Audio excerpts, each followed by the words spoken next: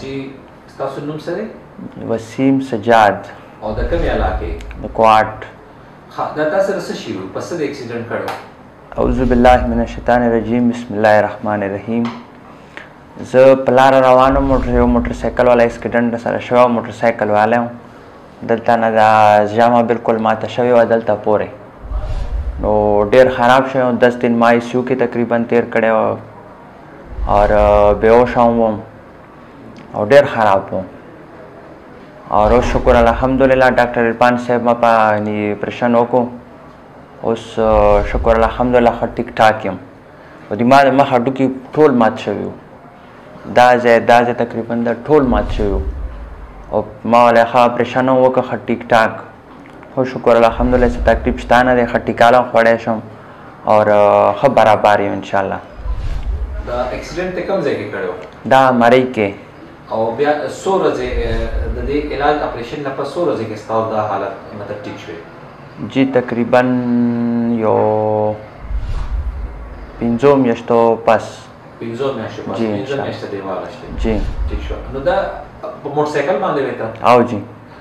نو موټرسایکل باندې څه کول پکار دي تا هلمټ وو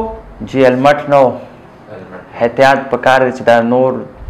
خلک کوم موټرسایکل چلی پکار دی چې دا هلمټ اچي احتیاط پکار دی یعنی ضروری دی او اوس تاسو څه د پین مې درد مر خونه کیږي کنه نه جی ان شاء الله اوس بالکل ټیک ټاک یم غاښونه ماخونه دي ټیک دي او بالکل او ته پهله کوارټ هسپتال کې داخل وې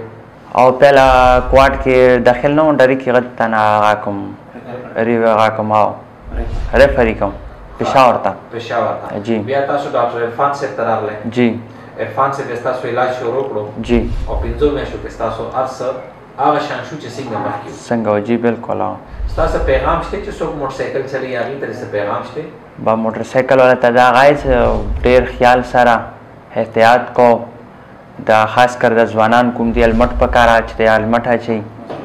او ضرورت په چالي بالکل د فضولیات پر بالکل ضرورت نشته بس صرف ضرورت نه سوا کې دا ویلینګ ملینګ کوم دی د بالکل څلغه نشته د ځوانانو ته خاص ریکوست دی ځانو پر ځواني بالکل ما خرابو بسم الله الرحمن الرحیم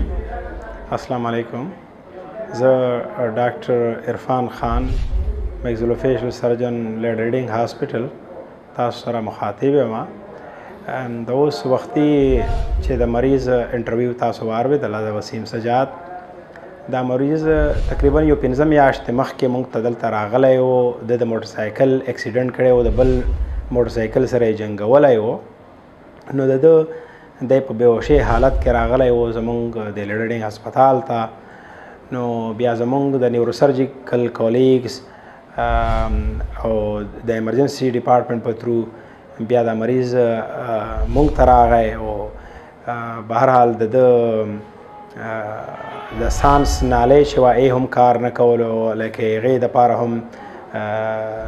دی په چونکې بېهوشي حالت کې و نو ده ته دا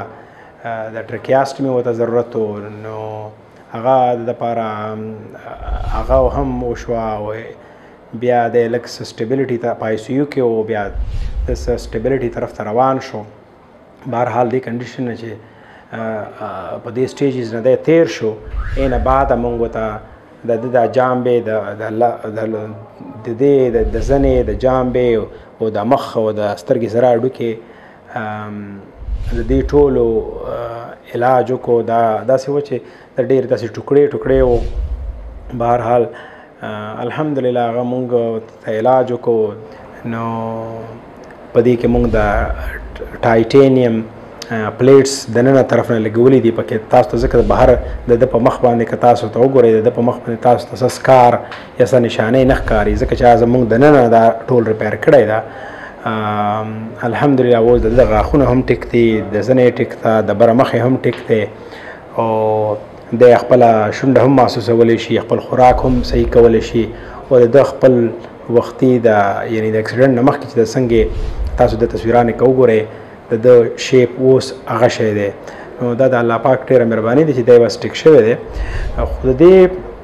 د کیس مقصد وسره وسره چې موږ دلته کې دا دا جام به دا وارد مګزلوفیشل وارد شروع شوه دی الحمدلله بس دا یو وخت سره ان شاء الله تعالی دا به یو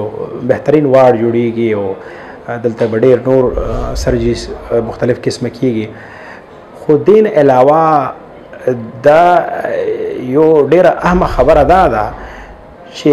دلته کې دا نوجوانان چې دي اوس دا موټر سایکلو باندې د ویلینګ کوي او ډیر رف ډرایوینګ کوي سپیډز کوي سه هلمټ نه وي سه کورز نه وي نو د دې وجه نه ډیر والدین چې دي د خپل ځوانانو نه محروم شي او د ایت د لایف لانګ یو دک رسیږي نو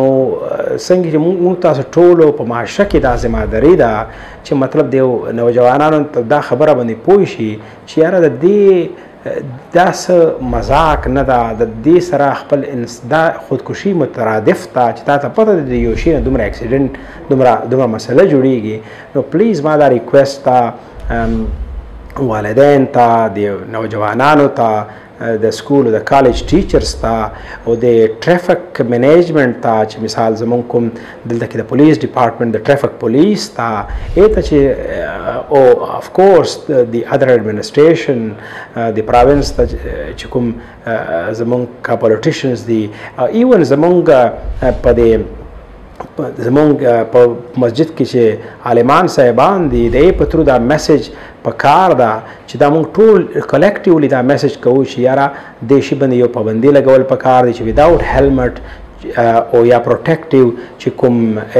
شیزونه دي عین ما سوا چاته ډرایوینګ اجازت نه موټر سایکل او بل خبره دا وسره چې لایسنس ډرایوینګ لایسنس یو ټریفیک پولیس ته د ای په دې کې ډیر اهم رول لا ځکه چې څنګه د موټر موټر د پاره یا د بل ګاډي د پاره د ټریفک رولز یعنی د لایسنسینګ رولز سختول په کار دي د موټر سایکل لپاره هم په عین ټفر رولز په کار دي ځکه چې دا نوجوانان وي ینګ ایج کې وي او وینه کې جوش وي او د ای وجنه د د مونږ دلته انکریزینګ اکسیډنټس وي او د ای وجنه په هسپتالونو هم بوج انسسریلی زیات شي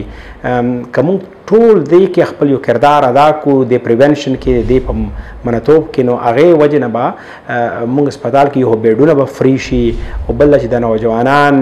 بداسې انجریز یا خو اکثر پکې وفات شي یا که وفات نشي داسې ډیبلیټیټینګ انجریز ته وشي چې هغه ټولو انجریز د وجه نه د بقایا زندگی د پر یا معذور شي یا په بل چا باندې ډیپندنت وي نو د دې د وجې نه ما دا ډیر ارنس ریکوست تا چې ټول زمونږ د معاشي خلک چې کوم ذمہ داران دي د د کور نه د ذمہ داری سٹارټ کیږي د بره د حکومت د حکمرانانو پورې چې ټول مونږ د لپاره یو ځای شو او مطلب چې دا ټریفک رولز ریګولیشنز فالو کیږي او داسې اکسیډنټونو حادثاتو نه مونږ بچت شو